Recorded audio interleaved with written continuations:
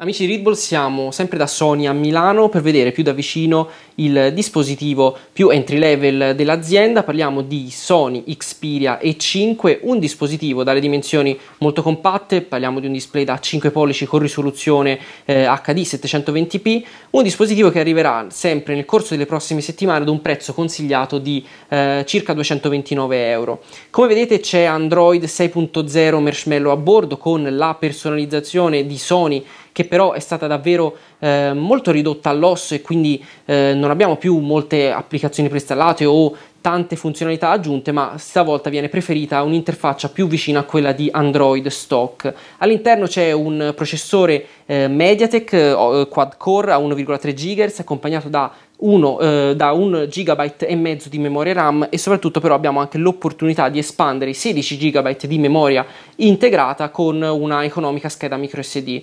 I pulsanti principali sono tutti a destra del dispositivo, essendo un dispositivo entry level non troviamo un lettore di impronte digitali come quello della gamma X e qui invece abbiamo lo sportellino per accedere appunto alla scheda micro SD e al vano di memoria.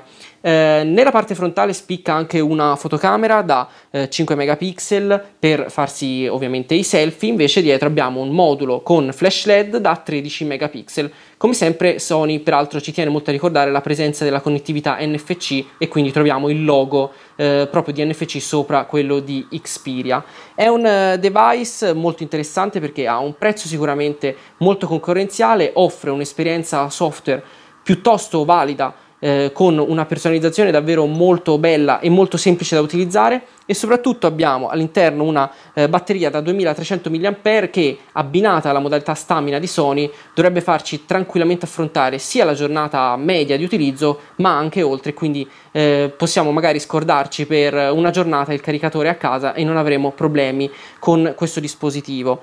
Eh, vi ricordo il prezzo 229 euro arriverà appunto nel corso delle prossime settimane eh, di Xperia E5 come di um, Xperia XA Ultra di cui trovate la nostra anteprima sul nostro canale. Eh, devo dire che mi è piaciuto sicuramente il design, è un dispositivo semplice nelle sue forme, semplice nella sua estetica, ma non per questo da sottovalutare. È molto comodo, si fa utilizzare davvero bene con una mano grazie al display da 5 pollici e soprattutto l'unità stessa l'ho apprezzata perché ha una qualità davvero molto alta come ormai siamo abituati con i display di Sony.